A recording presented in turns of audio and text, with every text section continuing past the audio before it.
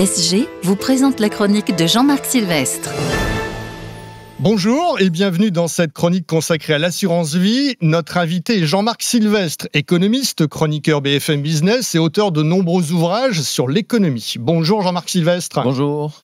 Les Français ont épargné massivement ces dernières années. Notre pays fait d'ailleurs partie de ceux où le taux d'épargne est le plus élevé en 2023 selon la Fédération bancaire française. Les Français mettent d'abord de l'argent de côté en cas de coup dur pour avoir de l'épargne de précaution, pour se protéger face à un avenir incertain, mais aussi pour préparer des projets qui leur tiennent à cœur, comme des achats immobiliers, les études des enfants, le financement de la retraite, et puis, eh bien, ils mettent de l'argent de côté tout simplement pour épargner. On voit bien que ces besoins sont différents, mais alors quels sont les produits adaptés à l'épargne de précaution et quels sont ceux qu'il faut privilégier pour préparer et financer ces projets?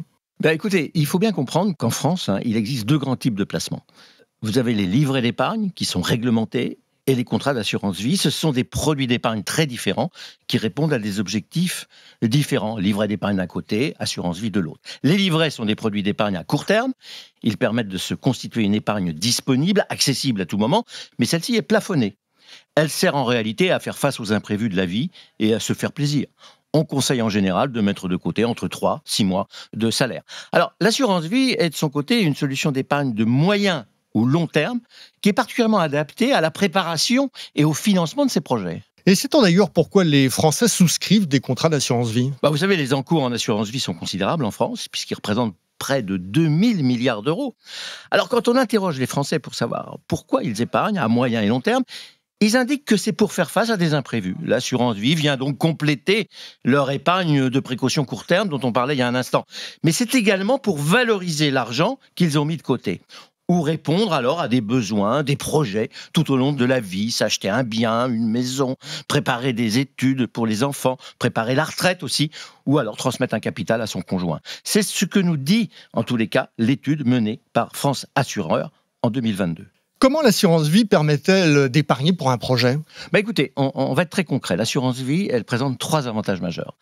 Le premier avantage, c'est qu'elle va vous permettre de vous constituer à votre rythme une épargne que vous pourrez utiliser dans quelques années si vous avez par exemple besoin d'un apport personnel pour l'achat d'un bien immobilier. Vous savez que pour acheter un bien immobilier, il faut en gros 10 à 20% d'apport minimum aujourd'hui.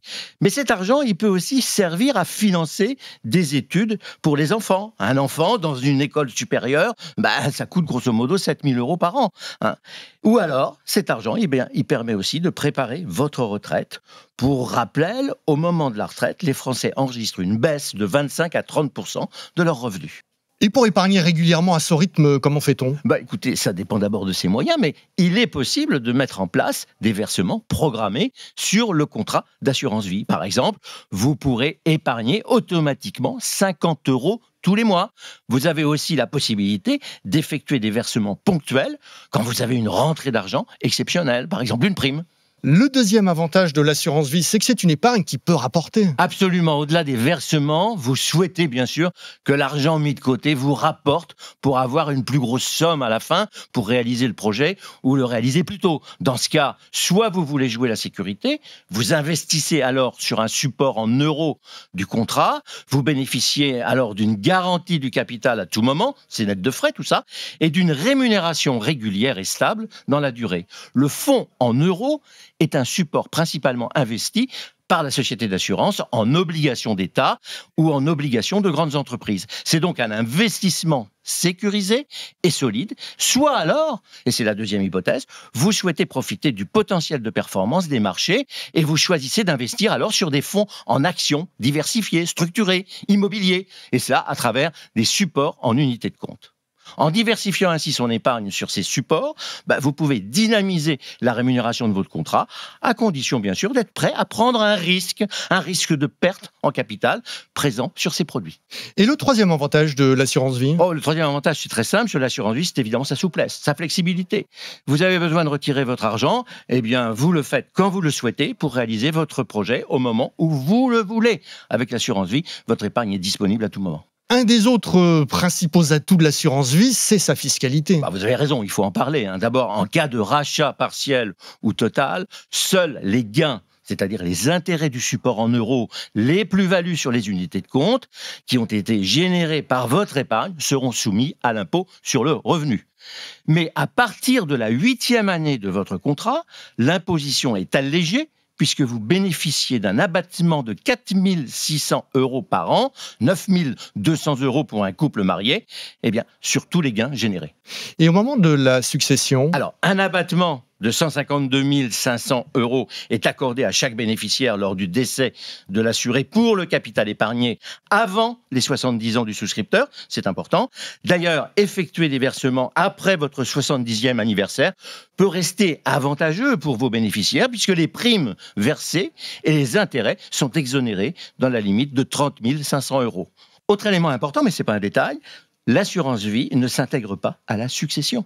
Ça veut dire quoi? Ben, Ça veut dire que le souscripteur peut désigner librement les bénéficiaires qui peuvent être des héritiers légaux, mais également des personnes étrangères à la famille ou même une organisation caritative. On le voit, l'assurance vie est particulièrement adaptée pour épargner à long terme et donc pour préparer un projet. Oui, accessibilité, rendement, fiscalité, souplesse, sécurité, on a vu tout ça. L'assurance vie, c'est le couteau suisse un peu de l'épargne. Hein. C'est un placement qui présente de multiples atouts et qui permet de mettre de l'argent de côté régulièrement, de le faire fructifier et d'en disposer au moment de son projet. Alors bien entendu, avant d'investir, il faut aussi avoir en tête que les supports en unité de compte supposent une durée d'investissement relativement longue et qu'ils présentent un risque de perte en capital. Il faut aussi tenir compte des frais appliqués lors des versements ou des arbitrages, ainsi que des frais de gestion de votre contrat qui viennent impacter le rendement de ce dernier. Et d'ailleurs, si vous avez un projet, prenez rendez-vous avec un conseiller bancaire. Il vous orientera vers les solutions d'épargne les plus adaptées à votre situation, à vos projets, au niveau de risque euh, que vous êtes prêt à prendre. Merci Jean-Marc Sylvestre d'avoir répondu à nos questions. Merci à vous. C'est la fin de cette chronique. Merci de l'avoir suivi. À bientôt. C'était la chronique de Jean-Marc Sylvestre avec SG.